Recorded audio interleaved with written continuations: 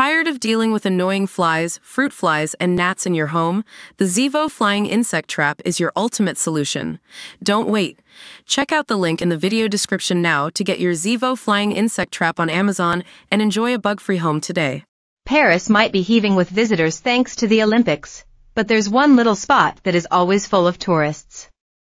Over the course of a year, more than 15,000 descend on this quiet residential square in the Sorbonne district of the city. This picturesque spot, with its babbling fountain, leafy surrounds and quaint cobbled streets, is not home to any major French landmarks, nor will you find it in any of the usual guidebooks. Instead, on the ground floor of a grand stucco-fronted building, sandwiched between a corporate office and a boulangerie, there's a small, dimly lit restaurant with a distinctive red awning, distinctive, that is, if you watch the Netflix series Emily in Paris. Fans will recognize it as Les Deux Compères, later renamed L'Esprit de Gigi, the restaurant where the love interest of starlet Emily Cooper, played by British-slash-American actress Lily Collins, works. Known by swooning viewers as the hot chef, Gabriel, French actor Lucas Bravo, goes on to take over the business, and uses his culinary flair to win Emily's heart. In the tongue-in-cheek rom-com, which charts the chic Parisian adventures of a hapless young marketing executive, the restaurant, real name Terranera, forms the backdrop to cozy tete-a-tetes, corporate dinners, and blossoming romance. It is here that Emily tries her first steak tartare, and promptly sends it back for being too rare, here that she seals her first successful French business deal, and here that she and Gabriel share a steamy, long-awaited first kiss. Off-screen, on a drizzly weekday, no such romance is apparent. The usually peaceful square is filled with delivery vans, cyclists, and stern-faced commuters. As gray clouds scud overhead, a beeping bin lorry pulls up, blocking the restaurant from view. Even this doesn't dissuade the crowds of fans who have been gathering since early morning. Wielding smartphones and selfie sticks, wearing branded Emily t-shirts and candy pink berets, they pout, pose into their cameras.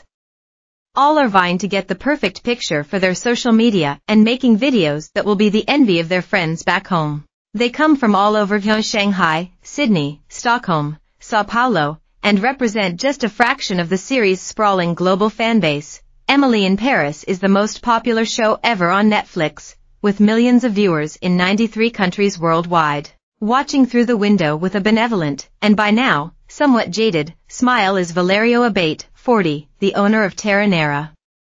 A shy Sicilian, with a salt and pepper beard who belies his youth, Valerio is used to the scrum outside his restaurant. It has happened every day, from the first moment we appeared in the series, he says.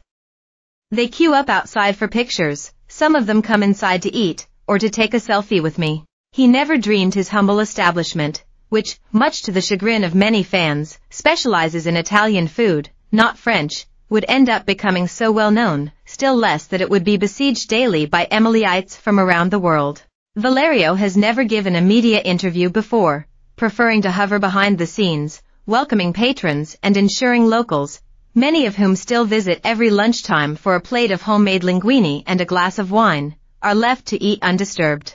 But ahead of the fourth series of Emily in Paris, which premieres on Thursday, he's agreed to speak exclusively to the Mail, letting me spend a day at the most Instagrammed restaurant in the city. Inside, with its red walls, retro leather banquettes and wooden tables, Terranera looks just like it does on screen. It was a butcher's shop, which opened in 1967, before Valerio's family bought it and turned it into a restaurant in 1978.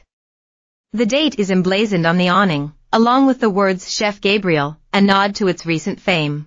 So many women come by asking if he really works here, he says. They are disappointed when I tell them no. Indeed, when the doors open at midday, young Brazilian fans are already taking photographs outside.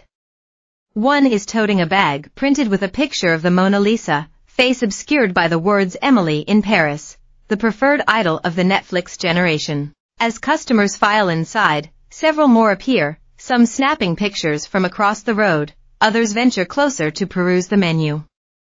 Today's specials include risotto with mushrooms and truffle, 22 pounds, and pasta in tom.